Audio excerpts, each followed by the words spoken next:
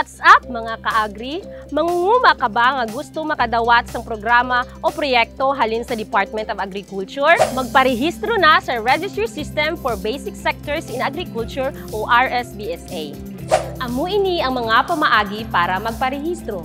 Step 1 magpreparar sang 2x2 ID picture. Original copies sang titulo sang inyong lupa o mortgage o anuman nga mga dokumento nga nagapamatuod nga may ara kamo nga uma.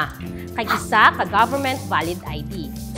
Step 2, mag-adto sa inyo city or municipal agriculture office sa inyo nga lugar.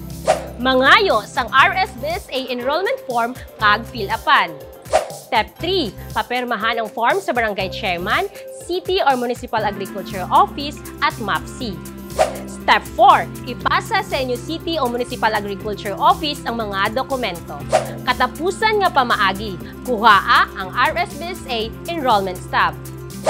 Di, kabalo na kamo kung ano ang proseso magpa-enroll sa RSBSA, lakat na kamo sa munisipyo kag magparehistro.